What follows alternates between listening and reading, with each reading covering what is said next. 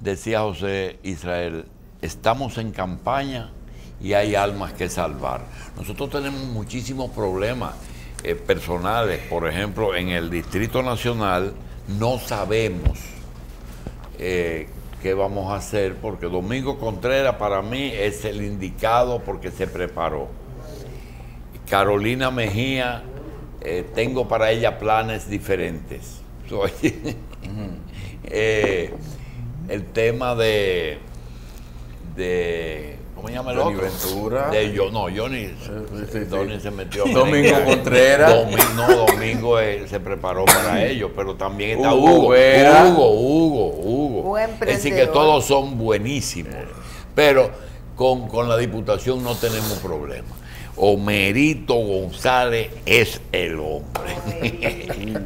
Porque es que el problema es que la mitad es muy serio. Usted decía que la mitad es una limitación política muy grande.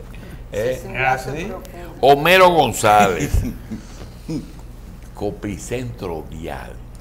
Pero hay algo más que no es Copicentro Vial. Vitroplanta del Caribe. Homero, candidato a diputado por la circunscripción número uno del Distrito Nacional, aliado de Leonel Fernández.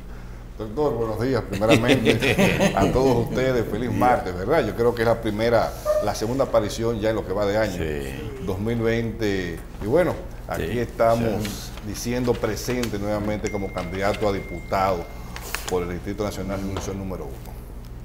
¿Cómo estás educando a tus electores en virtud de que las boletas tienen un pequeño atraso? Mira, realmente en cuanto a la parte electoral es una cosa. Nosotros aún confiamos en la propuesta, lo que pocas veces se veía en campañas anteriores. En comparación a nuevos aspirantes que están promulgando lo que quieren hacer, nosotros simplemente hemos estado recordando lo que hemos estado haciendo. Recordemos que en el 16 tomamos simplemente cinco días de reposo pasar las elecciones y volvimos al campo de batalla, volvimos a los barrios, 16, 17, 18, 19 y hoy día 20. Eh, hemos llevado la propuesta que hemos tenido, la que mantenemos, igual al 2016, que fue nuestra famosa eh, propuesta cero, que dice la propuesta cero. Pues bien, es verdad que la promulgación de nuevas leyes impulsa a un país hacia su desarrollo, sí, pero no es menos cierto que el no cumplimiento de las leyes ya existentes nos mantiene anclados a un pasado. Son 190 diputados fabulosos, con que 189 decidan seguir esa carrera de simplemente promulgar y promover fabuloso a Homero González, que nos busquen el librito de las leyes ya existentes.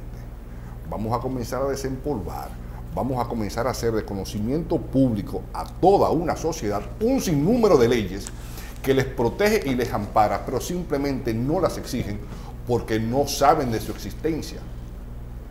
Y agotado ese proceso, viene la parte más importante, un régimen de consecuencias. Porque cada ley creada por un Congreso Nacional se convierte inmediatamente en la responsabilidad de algún funcionario público, independientemente del gobierno. O sea, nosotros no vamos a tener como adversario ningún ejecutivo, pero sí vamos a servir de un contrapeso real, de un contrapeso real desde el primer poder del Estado, que es el Congreso Nacional, hacia el Poder Ejecutivo. Bueno, la experiencia que se tiene en el Congreso Nacional es que allá realmente las interpelaciones no funcionan. Si se aplicara su buen deseo, además de tener aplicación de ley, tendríamos funcionarios más responsables. Hay que ver el tipo de interpelación, porque yo le pongo un caso. El Distrito Nacional, que es lo que nos compete, la circunscripción número uno, según encuesta, la mayor debilidad, o sea, la principal preocupación de ciudadanos en la 1 es el alto nivel de violencia, la inseguridad ciudadana. Es verdad que si somos un partido minoritario, yo puedo entender que no tendríamos quórum suficiente para interpelar a un director de la policía en el Congreso. Pero ¿quién ha dicho que un diputado no puede visitar al director de la policía en su oficina y hacerse acompañar de los otros cinco diputados y motivar una prensa. Pero venga acá, señor director. Nuestros conciudadanos están con el grito al cielo con el tema de la inseguridad ciudadana. ¿Qué usted está haciendo? ¿Qué pretende hacer? ¿Qué nosotros como congresistas le podemos aportar a su gestión? A lo mejor no lo podamos interpelar, pero ¿quién ha dicho que con ese ligero cambio en el accionar podamos conseguir frutos positivos? Hay algo que eh, uno percibe, es que la gente, ¿qué quiere la gente de las autoridades? La gente pide obras. Yo nunca he visto una protesta pidiendo, o muy pocas veces se ve una protesta pidiendo una ley. Es que la gente, es que estamos sobre legislados o solamente hace falta cumplir las leyes que tenemos, o es que la gente no pide cosas que no le garanticen, eh, por ejemplo, que una ley no le, eh, la gente no protesta por una ley que le favorezca, sino por una obra. Eh, ¿A qué cree que se debe eso? Mira, lamentablemente seguimos siendo un país presidencialista, donde pocos valores le, damos a la parte municipal y a la parte congresual. Muchas veces nuestros propios legisladores no los conocemos. No conocemos de su impronta, no conocemos de su historia. Y una ley sí realmente puede ayudar al buen desarrollo y desenvolvimiento de nuestra sociedad. Fíjate cómo todo el mundo habla del tema de los feminicidios.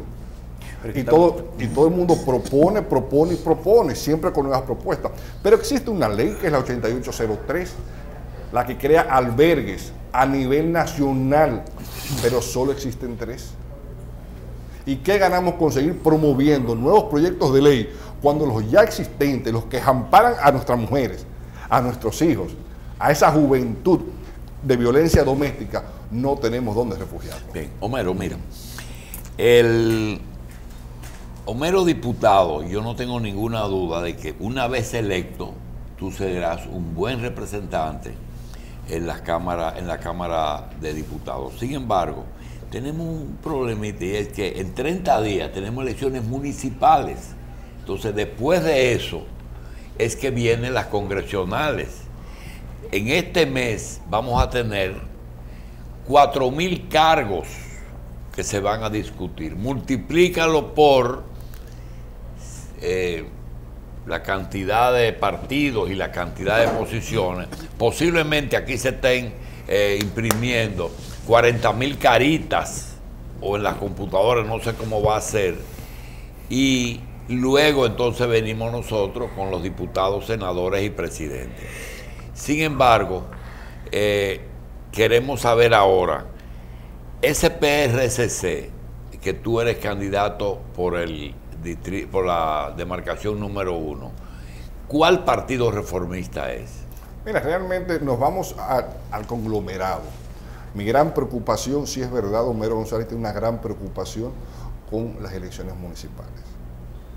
O sea, creo, creo que no vamos a salir con éxito. No hablo de partido, hablo de sociedad, hablo del momento de las elecciones.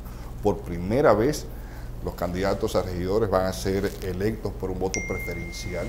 Todavía no se ha edificado netamente a una población y mi gran preocupación es que partidos de poder sepan pescar y hacer muy buena pesca en ríos de aguas revueltas.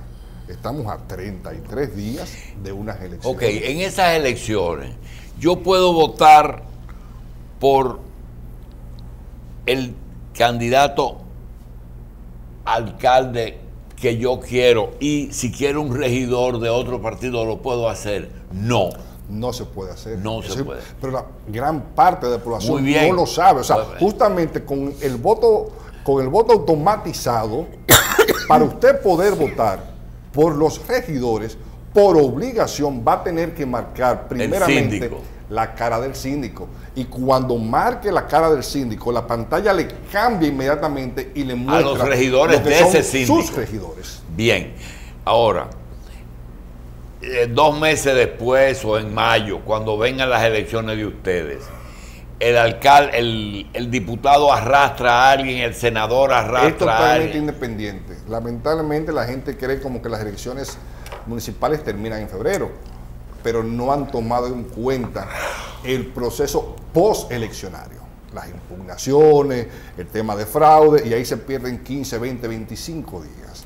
Estamos hablando que las verdaderas elecciones congresuales y presidenciales van a comenzar aparentemente un 15 de marzo.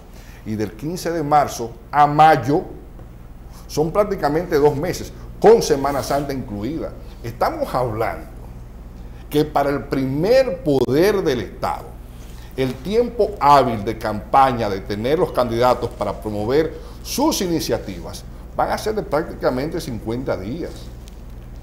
Y eso realmente llama poderosamente la atención. Bien, ¿tú crees que falta, falta educación y que eso nada más le toca a la Junta o que ustedes también tienen que hacer su trabajo? Decir, mira, vota por mí en esta forma. Mira, hay un divorcio, hay un divorcio de la sociedad civil hacia la política y eso es preocupante. ¿Y por qué es preocupante? Porque justamente tras ese divorcio, el cuerpo político ha formado entre ellos mismos su propio relevo y lo hace con la familia, con los hijos, con los hermanos, con los cuñados. Ante la ausencia de una sociedad civil que diga presente en política. Te piden relevo, pero no te aportan la materia prima. No lo puedes decir, pero es un atentado contra tu candidatura el que tu partido no tenga mucha representación municipal ahora, porque esas elecciones de ahora van a incidir en, la, en las de mayo. Nosotros en las pasadas elecciones nos quedamos por 342 votos. ¿Cuánto? 342. Sí. Y no hemos detenido el trabajo. Estamos haciendo todo lo humanamente posible para poder casarnos con la gloria. Nuestro compromiso es un compromiso ciudadano desde nuestras plataformas reformistas. Respetamos los lineamientos del partido, pero por igual respetamos las decisiones y la falta de representación que tiene nuestra ciudadanía. Nosotros decimos que la circunscripción número uno del Distrito Nacional está huérfana de legisladores. Honestamente lo decimos, está huérfana. Ustedes no van aliados. En las pasadas elecciones. Ustedes no van aliados. doctor, en las pasadas elecciones supimos salir a ofrecer iniciativas y proyectos de ley que, que fuesen a palear la problemática de nuestros conciudadanos. No para ciudadanos de Puerto Plata, de, de San Pedro, de Higüey. Circunscripción número uno pero los que tuvieron la oportunidad de salir electos volvieron a cometer el mismo error, porque comenzaron nuevamente a montarse en olas sonoras de temas. ¿Cuántos diputados se reservó el Partido Reformista? El partido no se ha reservado, simplemente tras la alianza promulgó tres y quedamos a la espera de tres que son los que lo van a promover la fuerza del pueblo. Pero vamos a ponerlo claro, yo soy de circunscripción número uno, voy al colegio Quique ya hace 40 años ¿Qué debo buscar para votar por ti? Simplemente en la pantalla de, los candidatos a, diputados, Homero González. Y debajo. Pero a, diputados de todos los partidos. De todos los partidos. Y ahí voy a encontrar tu cara. Justamente. ¿Y cuántas caras más voy a encontrar? Bueno, cada partido tiene la obligación de llevar sus seis candidatos. No, no, en la circunscripción número uno. Cada partido son seis candidatos en la número uno. ¿Cuánto? Seis candidatos a diputados en la número uno. Entonces yo voy a encontrar ahí alrededor de cuánto, 30 o 40 caras. Van a ver, son, estamos hablando 6, 7 partidos, estamos hablando de... 6 por 3, 18. No, por 6. ¿Por? Por 6. Ah, por 6. 36, 36, 42. Entonces ahí es que yo tengo que buscar. Ahí van. Y justamente en otra pantalla, por igual, le va a salir el candidato a senador.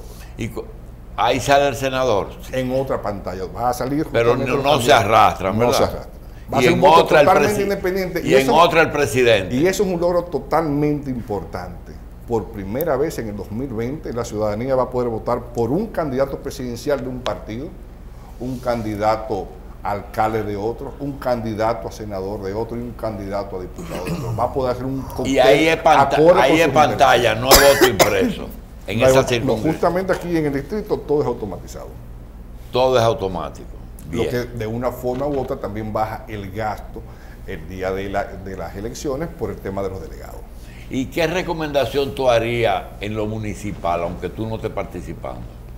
Mira, lo municipal está en las redes. Doctor, está en las redes. Si hay un candidato que quiera vender sus propuestas, pues es su obligación hacerlo y hacerlo de conocimiento público. Y el modo más económico es justamente en las redes.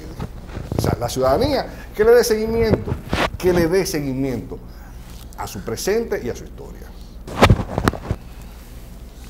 Bueno, Está correcto eso. ¿qué? Está correcto lo que le acaba Está de correcto, pero está difícil. Esto está, pero en lo mucho, pero municipal, mucho más en lo difícil, municipal está difícil. Mucho más difícil está en la parte congresual. Y hay un punto que quiero hacer énfasis. Y es justamente lo que estuvimos diciendo hace unos minutos, y es que la circunscripción número uno está huérfana de legisladores. Aquí son cuatro grandes problemáticas. Será de legisladores bueno, porque de candidato hay muchos.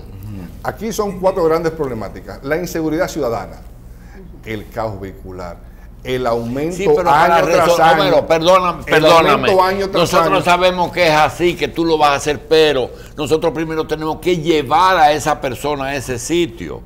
Y todo el mundo sabe que aquí para, para tú salir a la puerta, usted tiene que agarrarse los bolsillos primero. La pregunta es cómo se llega a ser legislador y tú dices la preocupación es el poder legislativo. ¿Ustedes en otras áreas están aliados a alguna otra organización? Estamos eh, de la mano con la Fuerza Nacional Progresista. Es muy posible que Vinicio Castillo sea nuestro candidato. Y con el PRM también. Con el PRD, con el PRM en otras provincias. No, ido- no, me refiero en lo presidencial. No, en el presidencial está el doctor Leonel Fernández. Es el candidato de El usted. candidato presidencial. Ah, ya. Pero no tan ligado, no arrastra uno al otro, ¿verdad? Justamente la ciudadanía en el 2020 va a poder votar por el candidato presidencial de un partido, el candidato senatorial de otro partido y el candidato a diputado de otro partido.